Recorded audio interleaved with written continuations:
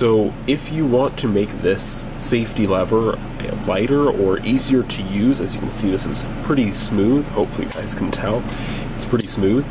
but yeah, so we're gonna take a look at how to do that. So it's very basic, all you'll want to do is first make sure your gun is unloaded, so remove the magazine, you know, obviously, as I should do, you know, chamber check, there's nothing in there, so the gun is clear,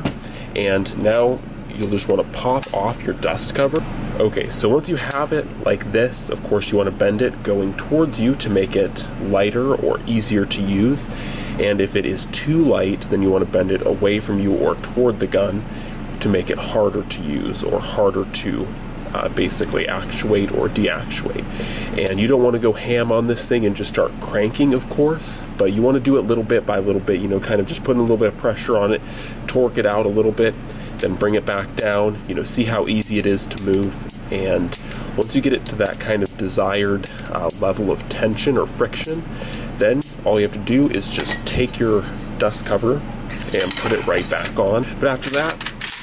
you should be good to go and you have your safety lever right where you want it. So that is how easy it is to just make that quick swap, or not so much swap, but